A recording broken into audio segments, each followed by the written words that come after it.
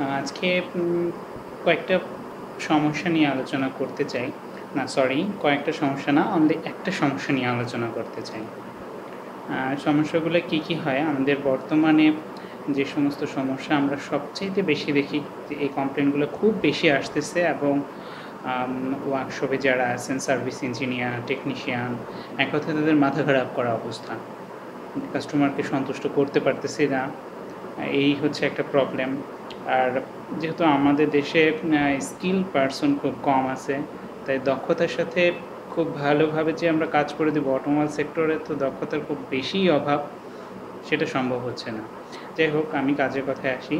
আমাদের ওয়ার্কশপে সবচেয়ে বেশি কী কী সমস্যা আসে? এক নম্বর সমস্যা হচ্ছে হলো যে সে বলে যে আমার প্রচুর পরিমাণে ফুয়েল খরচ হচ্ছে।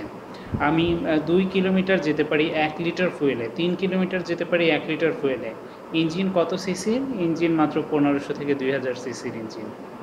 বড় অবাক করা বিষয় না যে এক লিটার ফুয়েল দিয়ে সে দুই কিলোমিটার যাচ্ছে মাত্র।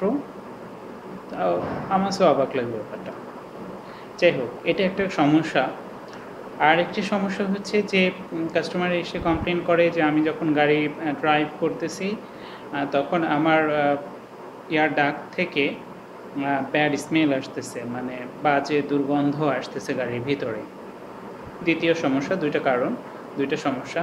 তৃতীয় আরেকটা যে সমস্যা খুব বেশি আসে, আমি গাড়ি ড্রাইভ করতেছি, আমি লং জার্নিতে কোথাও যাব। আমি চল্লিশ কিলোমিটার বেগে চালাচ্ছি গাড়ি। কিন্তু আমি এখন হাইওয়েতে চলে আসি, এখন রাস্তা আমার ফাঁকা, আমি এখন ষাটে গাড়ি ড্রাইভ করব, ষাট কিলোমিটারে চালাবো, বা আশি কিলোমিটারে চালাবো, বা একশো কিলোমিটারে চালাবো। এর জন্য আমি অ্যাক্সিলেটর পেডেলে যখনই চাপ দিচ্ছি, গাড়ির স্পিড বাড়ানোর জন্য, গতি বাড়ানোর জন্য কিন্তু আমার গাড়ি গতি বাড়তেছে না। সে অনেক সময় নিচ্ছে, টাইমটাকে অনেক ডিলে করতেছে, দেরি করতেছে। হুট করেই গাড়ির স্পিড বেড়ে যাচ্ছে না। অনেক সময় নিচ্ছে। এই গেল আরেকটা সমস্যা। আরেকটা সমস্যা কি? যে এসে বলে যে আমি বাসা থেকে গাড়ি নিয়ে বের হলাম, রাস্তায় গেলাম, কিছু দূর ড্রাইভ করলাম, করার পরে হুট করে রাস্তার মাঝে গাড়ি স্টপ ইঞ্জিন স্টপ সব কিছুই স্টপ আমার গিয়ার শিফটিং লিভার কাজ করতেছে না। ভয়ানক না ব্যাপারটা যে, রাস্তার মাঝে হুট করে গাড়ি স্টপ পিছন থেকে একটা বড় গাড়ি এসে ধাক্কা মেরে দিল। কী অবস্থাটা হবে? যাই হোক। তো, আসলে হাসির বিষয় না, ভয়ানক বিষয়। তো, এই গেল একটা সমস্যা। আমি একটা সমস্যা নিয়ে শুধু আলোচনা করব, সেটা হচ্ছে যে কেন রাস্তার মাঝে গাড়ি হুট করে স্টপ হয়ে যায়? গাড়ি আমি যেই সমস্যাটা নিয়ে আলোচনা করব সেটা হচ্ছে যে স্টপ কেন হয়ে যায়? এখন যখন গাড়িটা নিয়ে আসা হলো সার্ভিস সেন্টারে তখন সার্ভিস সেন্টারে যারা কর্মরত আছেন, তারা ওখানে এটাকে চেক করে দেখলেন ডায়াগনোসিস করে দেখলেন যে না, গাড়ির সব কিছু ওকে আছে। ফুয়েল সিস্টেম ওকে আছে, ঠিকমতো ফুয়েল যাচ্ছে ইঞ্জিনে সব কিছু ওকে আছে, সব দ্যাটস এক কথায় বলতে গেলে দ্যাটস অল মানে কি বলে সব কিছু ভালো। তাহলে কেন এরকম হচ্ছে? কেন এরকম হয়? এই প্রবলেমটা আসলে আমাদের দেশের যারা টেকনিশিয়ান আছেন, তারা খুব কম টেকনিশিয়ানে আছেন, এই প্রবলেমটাকে খুব দ্রুত ফাইন্ড আউট করতে পারেন না। তারা অনেক সময় বলেন কি, অনেক টেকনিশিয়ান না জানার কারণে, তো সে নিজে জানতেছে না প্রবলেম হয়েছে ভাবতেছে যে হ্যাঁ গিয়ার বক্সের সমস্যা, যার কারণে পুরা ট্রান্সমিশন সিস্টেমটাকে লক করে দিছে, গাড়ির সব কিছুকে লক করে দিছে গিয়ার শিফটিং লিভারটাকে লক করে দিছে গিয়ার ভালো না গিয়ার বক্স ভালো না। আপনি কাজ করুন কাস্টমারকে বলেন যে আপনি আপনার গিয়ার বক্সটাকে চেঞ্জ করুন। এটা তো হয়ে গেলে ওরকম যে, মাথা ব্যথা হচ্ছে যে, মাথা ব্যথা না সারায় বলা হলো যে আপনি মাথাটাকে কেটে ফেলে দেন। এটা করে থাকেন। এবং অনেক কাস্টমারকে এভাবে ধোকা দিয়ে তাদের গিয়ার বক্সটাকে চেঞ্জ করা হয় এবং তাদের কাছ থেকে প্রচুর পরিমাণে চার্জ ধরা হয়, টাকা নেওয়া হয়। এখন আমার কাছে যে শর্টকাট পদ্ধতি কেন এরকম হয়, আমি সেটা আজকে বলে দিচ্ছি যে, আমাদের গাড়িতে যে আমাদের গিয়ার শিফটিং লিভার আছে গিয়ার শিফটিং লিভারের সাথে একটা ক্যাবল অ্যাড করা আছে। ক্যাবলটা সরাসরি চলে গেছে ইঞ্জিন চেম্বারের আশপাশে কোথাও এটা আছে। ব্যাটারির নিচে হতে পারে অথবা এয়ার ক্লিনারের নিচে হতে পারে। এক কথায়, অথবা গিয়ার বক্সের সাথে লাগানো হতে পারে গিয়ার বক্সের উপরে হতে পারে। যাই হোক, যেখানেই হোক, এখানে একটা সেন্সর আছে। সেন্সরের সাথে এই ক্যাবলটা গিয়ে অ্যাড হয়ে গেছে। এই সেন্সরটার নাম হচ্ছে হলো PNP sensor parking neutral position sensor হ্যাঁ ব্র্যান্ড ভিন্নতার কারণে নামটাও ভিন্ন হতে পারে। এক এক কোম্পানি এক এক ধরনের নাম ব্যবহার করতে পারে। যখনই আমি আমার ট্রান্স কী বলে গিয়ার শিফটিং লিভারটাকে চেঞ্জ করতেছি ড্রাইভে দিচ্ছি, অথবা রিভার্সে দিচ্ছি, অথবা পার্কিংয়ে দিচ্ছি অথবা ফার্স্ট গিয়ারে দিচ্ছি যেখানে দিচ্ছি, সাথে সাথে এই ক্যাবলটা কী করতেছে? ক্যাবলটা ওই সেন্সরকে সেন্সরের এখানে রোটেশন করার জন্য একটা মেকানিজম আছে।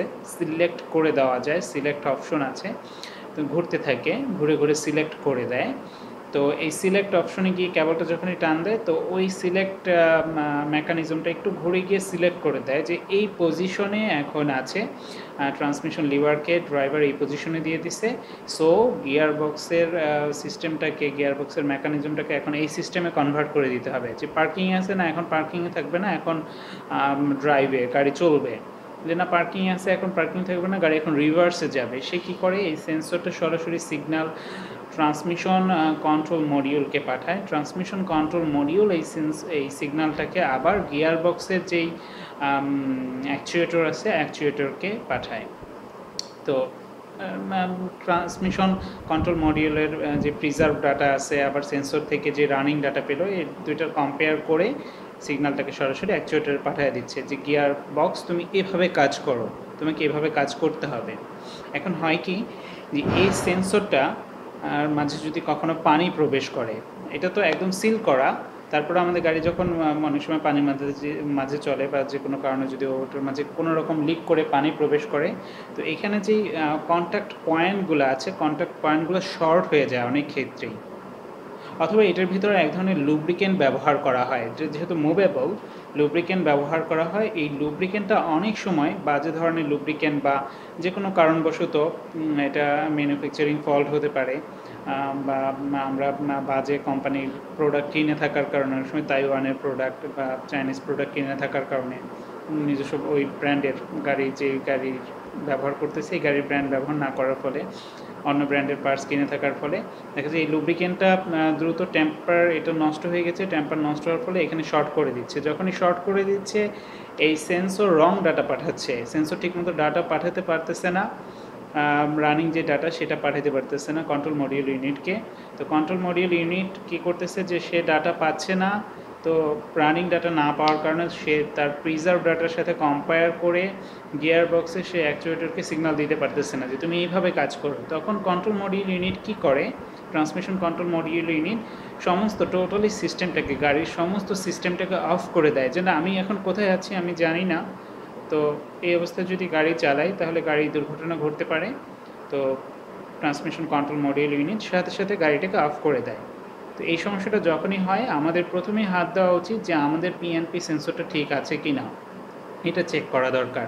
আমরা সেটা করি না, আমরা করি কি গিয়ার বক্সকে চেঞ্জ করে দাও। একদম সহজ সমাধান। যখনই এই প্রবলেমটা হয়, তখনই ইঞ্জিনের সমস্ত কিছু যদি ঠিক থাকে, গাড়ির সব কিছু ঠিক থাকে, প্রথমেই হাত দেওয়া দরকার। প্রথমেই দেখা দরকার যে আমার পিএনপি সেন্সর ঠিক আছে নাকি পিএনপি সেন্সর ঠিক নেই। যদি স্ক্যানার রিপোর্ট দেয় স্ক্যানার যদি আমাদেরকে জানায় যে হ্যাঁ পিএনপি সেন্সরের প্রবলেম হ্যাঁ P zero eight zero eight five zero এই কোডটা দেখায় ওবিটি টুর এই কোডটা দেখায়, অথবা আমাদেরকে জানায় যদি না ট্রান্সমিশন সিস্টেমের সমস্যা, তখন আমাদেরকে প্রথমে ওখানে হাত দিতে হবে এবং দেখতে হবে যে আমার এই সেন্সরটা আদৌ ঠিক আছে কি ঠিক নাই। যদি ঠিক না থাকে, শুধু এটাকে আমরা চেঞ্জ করে দিই, তো আশা করি আমাদের গাড়ির এই প্রবলেমটা সমাধান হয়ে যাবে। গিয়ারবক্সে হাত দেওয়ার প্রথমে কোনো দরকার নাই। গিয়ারবক্সের প্রবলেম অত সহজে হয় না। যাই হোক, আজকে এটা নিয়ে আলোচনা করতে ছিলাম অন্য সময় আরও যে সমস্যাগুলো আছে, সমস্যাগুলো নিয়ে আলোচনা করবেন ইনশাআল্লাহ।